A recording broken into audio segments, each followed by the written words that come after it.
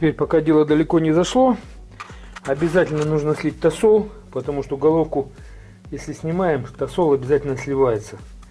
Ну вот с маслом, масло, скорее всего, тоже бы желательно слить, потому что если мы его не сольем, начнем потом снимать головку, тосол можно, может будет, можно, может попадать в масло.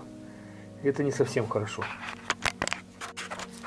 Освобождаем яму, готовим к слитию тосола. Так, для слития тосола залез я под автомобиль. Видите, здесь вот такая защита пластиковая. Вот она.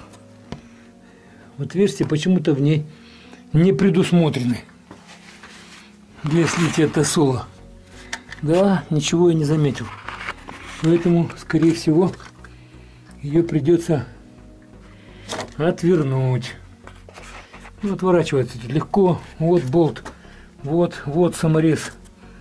Короче говоря, ничего интересного.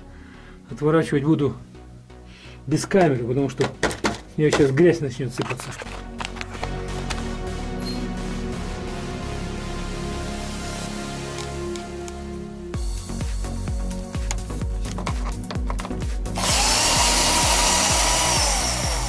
Ну, это, конечно, уже местного разлива саморезы. Это не тойотовские.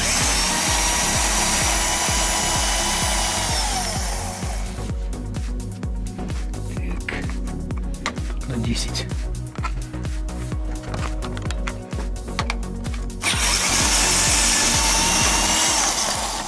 Вот это вот уже похоже на тойотовские, видите, болтики.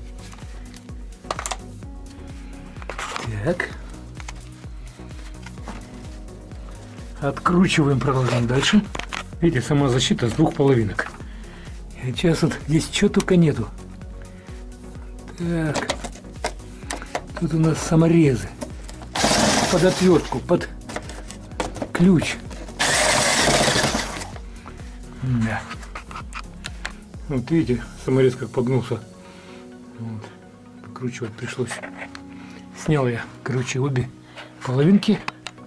Вот он, кранчик, э, с которого сливают тосол с радиатора, то есть охлаждающая жидкость. Но если смотреть по ходу движения, вот эта вот лыжа посередине, это вот правая сторона, это левая. Так вот, ближе к правой стороне вот этот кран. Сейчас попробуем слить с него тосол.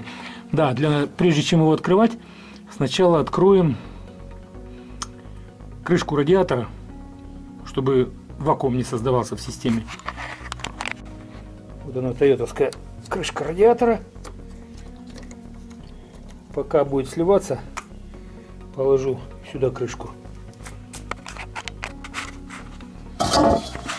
Потихонечку, не спеша, вот так вот подставили тазик, видите, какой-то свой тазик задевал я пластиковый, выпросил у жены металлический. Потихонечку, ах ты, руками не идет. Обычно у Toyota идет, мы возьмем плоскогубцы. Аккуратненько, аккуратненько, чтобы, чтобы не сломать. Хотя она ни разу не ломалась в мою бытность. Но тем не менее, чтобы не сломать, то так сорвал. И рукой начинаю подкручивать. И сразу же ставлю тазик под него.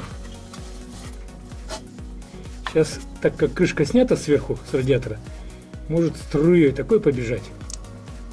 О, тут вот пипка должна быть, видите? Она сломана. Ну ничего, подождем. Мы не торопимся. Потому что если открыть, она, представьте, вот такой струей побежит. Вот сюда будет бежать на меня, меня обольет. Поэтому пусть бежит. Ну, подождем минут 15. Немножко приоткрыл чуть побольше. Видите, тосол быстрее побежал.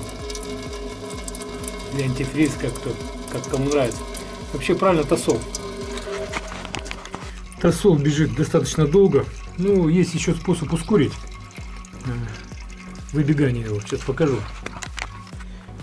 Это вот э, радиатор на отопление, ну, отопление, охлаждение, радиатор, радиатор охлаждения. И сюда можно просто взять и дунуть. Вот здесь вот только вот эту трубку закрыть пальцем, а сюда взять и дунуть. Сейчас покажу. Вот смотрите, закрываю.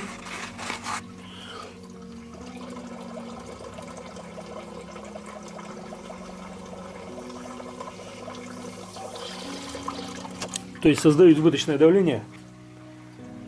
И быстрее тосол бежит. Ну это так. Ради прикола. Ну, в принципе, все. Видите, немного терпения. Вот этот вот кранчик. И вот он тосол. Все слил. Сейчас буду отсоединять патрубки. Ну и продолжать работу. Естественно, чтобы повторно использовать тосол, я его сейчас солью в 5-литровую вот бутылку. Ну и залью, естественно. Второй раз, когда буду собирать машину.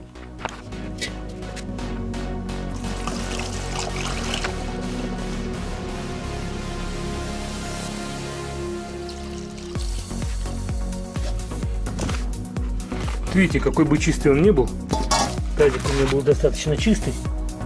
Вот, а грязь в системе есть. Получилось примерно 4 литра. Там еще в блоке немного осталось. Ну то я потом постараюсь собрать. Всем пока, сливайте тосол.